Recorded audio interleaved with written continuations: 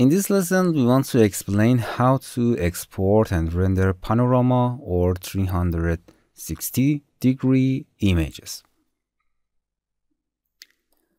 Click on this panorama and go to a location that you want to render panorama image. For example, I going to this location and I want to render 360 degree images from this view and I want to rotate around the image anywhere that I want. Easily click and create panorama and as before you can rename or delete or duplicate that or uh, changing the location and for example coming here and uh, refresh again and as said before you can uh, refer to previous lesson and as you can see the setting are uh, disabled. You have to change the all setting in this scene that you want in more. You can uh, setting render lighting location weather camera. I explained all of these setting in the previous lesson please refer to them. I don't want to repeat them. Going back to panorama and you can add any images that any rotation or any position that you want. For example in this position we can we want to make a panorama and click click to transfer them. For example i want to delete this and this panorama file is enough for me. And simply going to the export in a panorama click and select your image that you want.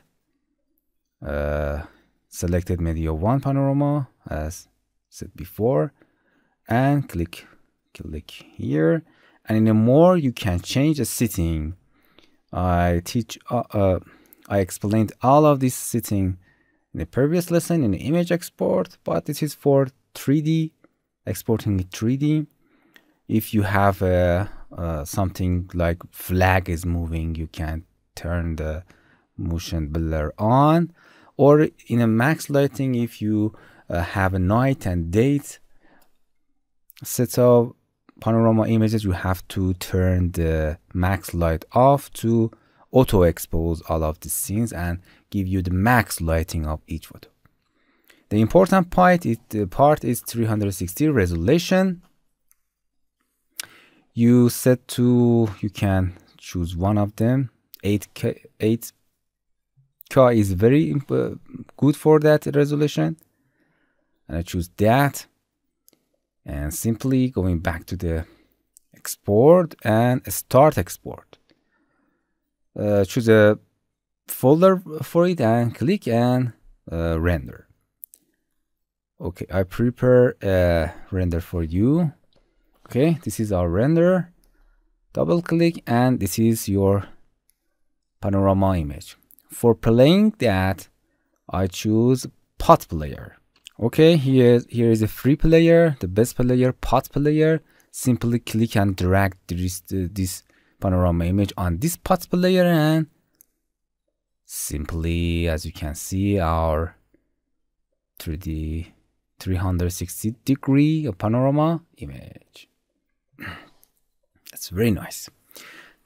Please attention that in the pot player, we have to go in here in uh, 360 menu and click on this and enable this. If you disable this, it show like this. Going to the, this option and enable panorama video mode. And simply by left clicking and dragging, you can see anywhere that you want. That's beautiful. And that's very easy in Twinmotion. Hello my friends, to continue these tutorials on YouTube, subscribe us, like us, and hit the bell icon. And now, you will be alerted about all of the amazing videos that we release.